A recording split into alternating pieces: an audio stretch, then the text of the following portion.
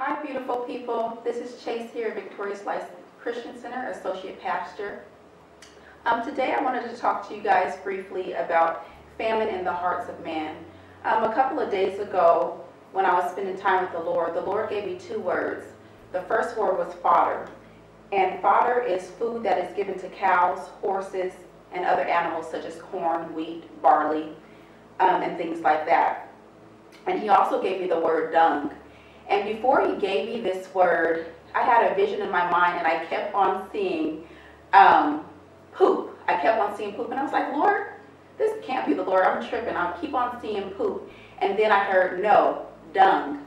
And dung, what dung is, is it's feces from animals, from large animals such as horses, cattle, and other types of cows and bulls. And so he took me to Ezekiel chapter 4.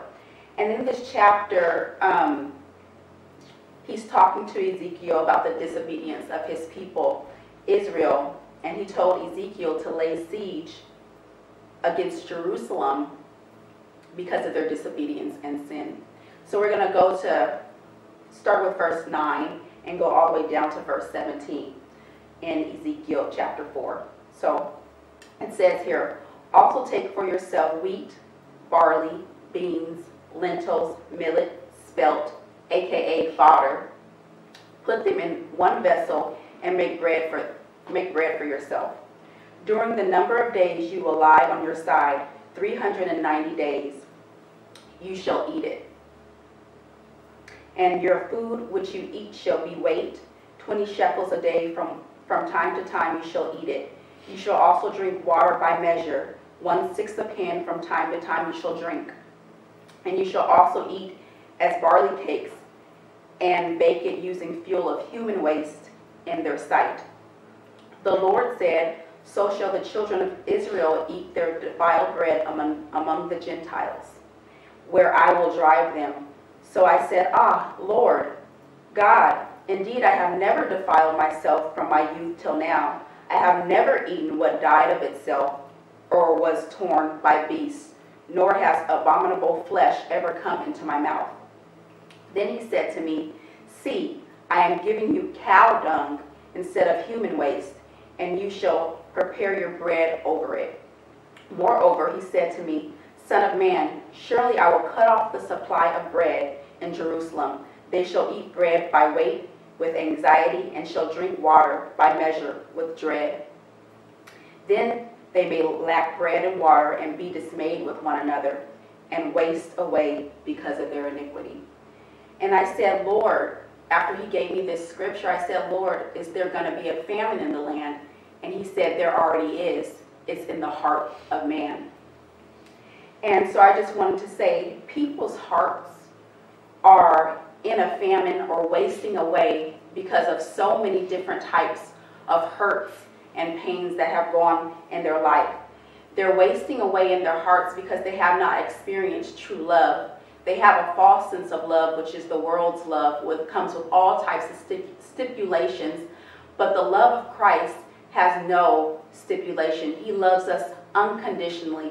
He loves us through the good, the bad, and the ugly, and even in our brokenness, in our broken times. And he said, what the people are in need of is a heart transplant. A heart transplant because of the many different hurts. They, the hearts have turned into stone and he wants to turn our hearts into flesh. And the Lord Jesus Christ is the only one who can do this. The Bible says in John 3.16 that God so loved the world that he gave his only begotten son that whoever believes in him shall not perish but have everlasting life. For God did not send his Son into the world to condemn the world, but through him the world may be saved. Um, so if so some of you may be saying, well, how do I experience true love? How do I experience a love of a God that I that I do not know? And it just takes this simple prayer saying, I know that I'm a sinner and I'm broken and my heart is famine because of the many hurts in my life.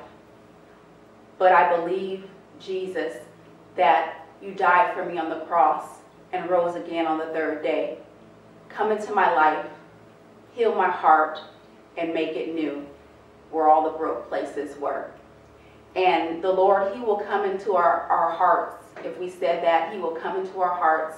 He will change us. He will make us new. He will heal those stony places, those hurts, those pains, if you will just allow Him to just step in and make you new. And maybe you're a backslidden.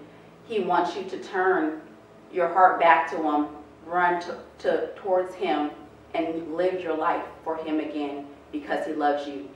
So that's um, my sermon for Easter Sunday. I hope you guys are having a blessed day today. And amen.